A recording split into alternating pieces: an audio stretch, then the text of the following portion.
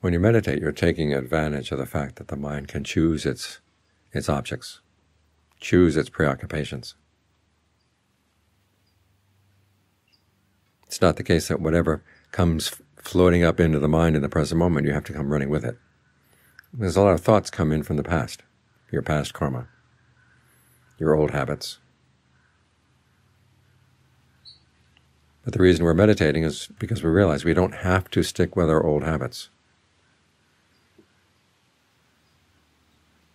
There's that saying, you don't believe everything you hear. Well, don't believe everything you think, and don't follow everything you think.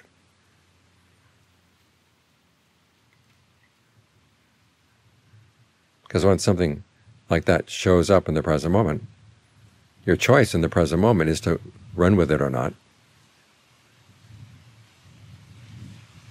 to resist it, or just to ignore it. This choice is available to you.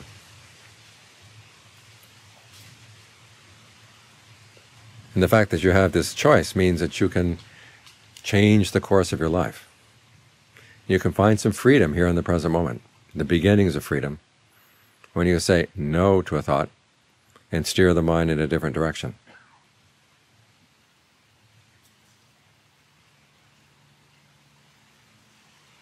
But to see the workings of your mind clearly and have a position of strength in which you can make the wisest choice, you've got to get the mind still here in the present moment.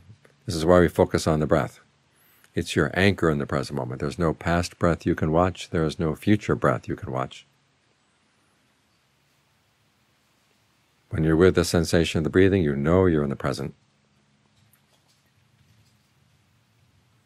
And when you've made up your mind, you're going to stay here. Anything else that comes up that's not related to the breath or the mind as it's related to the breath, you say, okay, that's past karma. I don't need that. Let it go. Let it go.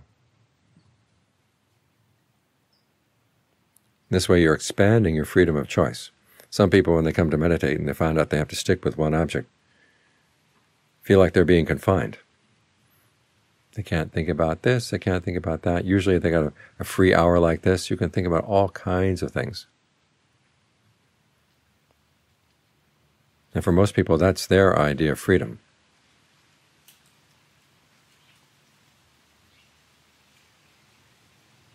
But actually what it is, it's the freedom of your defilements to pull you in whichever direction they want.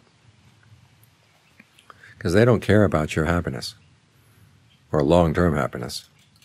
They just care about what's pleasant in the immediate present or what holds some allure in the immediate present. And so you want to be able to free yourself from that.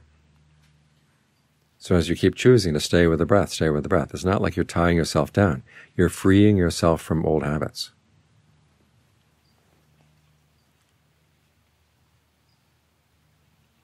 You can think of the mind as being like a committee. Your old habits are the members of the committee that have held power for a long time over you. Whereas the members that want to meditate they may not be quite so strong, but you can strengthen them. You can side with them. The more you develop your mindfulness and alertness, your concentration, your discernment, the more you're able to exercise your freedom right here.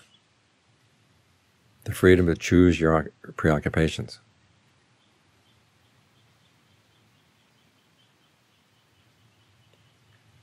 And then you get to choose them wisely. Wisdom comes from asking the question, what when I do it will lead to my long-term welfare and happiness? And the wisdom there lies, one, in the fact that you asked the question to begin with. Some people go through life without asking any questions at all. They accept, well, this is the way things are, that's the way they have to be.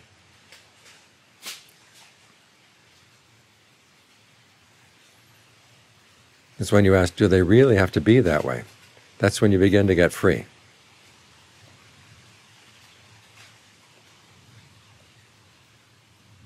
You think about the scientist who discovered the laws of gravity. The story goes he was sitting under a tree and saw an apple fall. And he asked the question, why is it that the apple falls? Why doesn't it just stay where it was?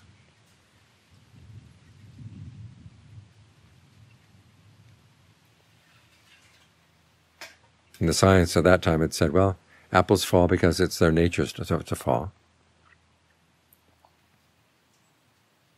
But his question was, well, apples are made out of physical matter, and the earth is made out of physical matter. Why doesn't the earth fall too?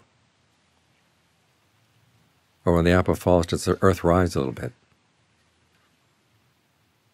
It was by asking those questions that he discovered the laws of gravity. If he hadn't asked the questions, the apple would have fallen, he might have eaten it, and that would have been that. So the beginning of wisdom is when you begin to ask, the things are the way they are. Do they have to be that way? What makes them be that way? And here, of course, we're looking at something more important than apples. We're looking at our minds. We want happiness in life. We speak, we act, we think for the sake of happiness, and yet all too often the results come out the other way around. It's when you want to know why that you're going to begin to be wise.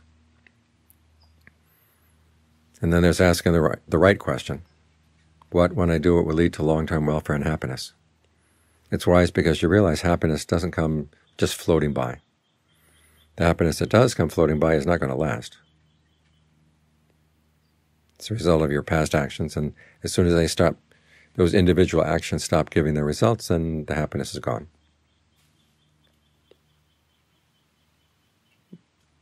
But you realize there is a course of action that can make happiness long-term. That's the second thing, or third thing, which is that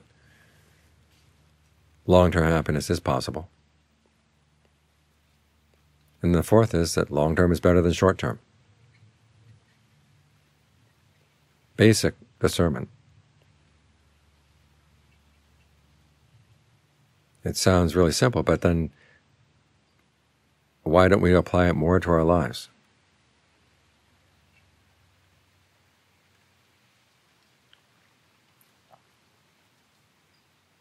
So when you realize you have choices, when you get the mind in a position where it can look at what's going on and make the wisest choices. This is why we meditate. Once you've set up this one intention, you're going to stay with the breath for the hour. Anything else that comes in, you have to treat as suspect.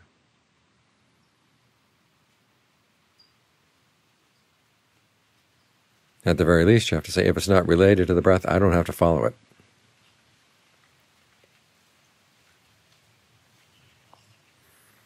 Then as your concentration gets more and more solid, then you're in a better position to ask, well, some things I know are not right for me. When I get angry, when I get upset,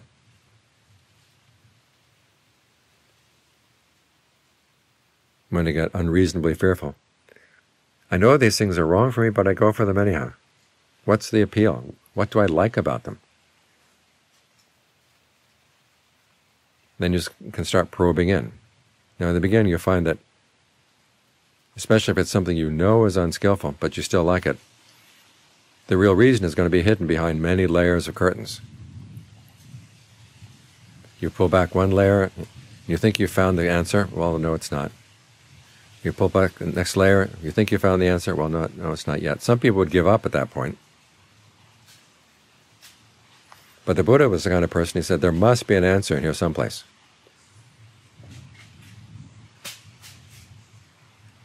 And so he was able to pull back all the curtains, find what it was that attracted the mind to things that are unskillful. When he could see that it wasn't worth it, then he let it go.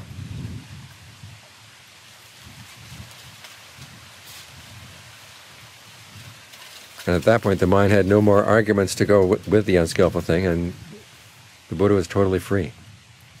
So that's where total freedom is, when there's no, there are no more unskillful thoughts coming in to bother the mind. They have no sticking power at all. And we get there by exercising our freedom of choice right now.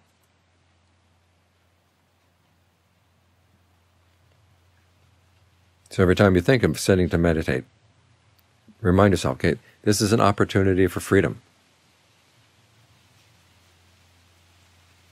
You can be sitting at home, sitting at work. You have some free time. Here's your time to be really free inside.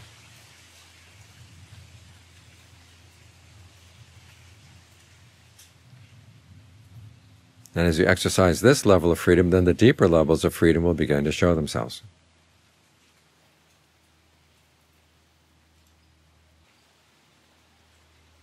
The important thing is to not be afraid of being free. All too often, we feel like we're in strange territory where we're not following our old thoughts.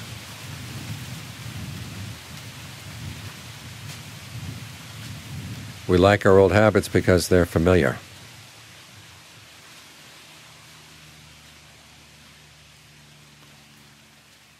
They're like old friends, but they're the kind of friends that really haven't been good for us. The ones that try to get us to do unskillful things, and then when the police come to catch us, they go running away and leave you with the, the punishment.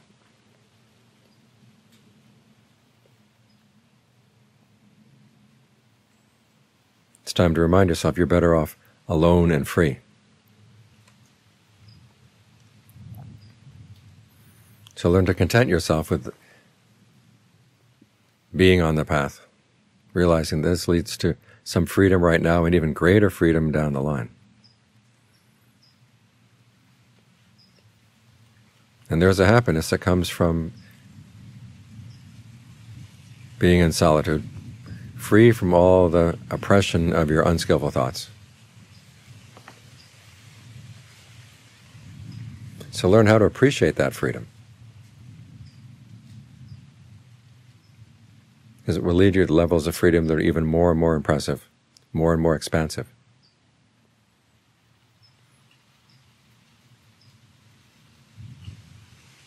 The ways of the world don't offer any way out. But this path of developing mind, developing the mind, does offer a way out. As the Buddha said, it's good in the beginning, good in the middle, it's even better in the end.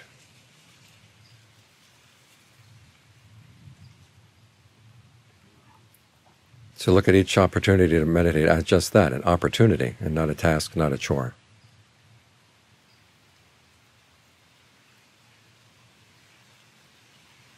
a little taste of freedom that you can take advantage of right now.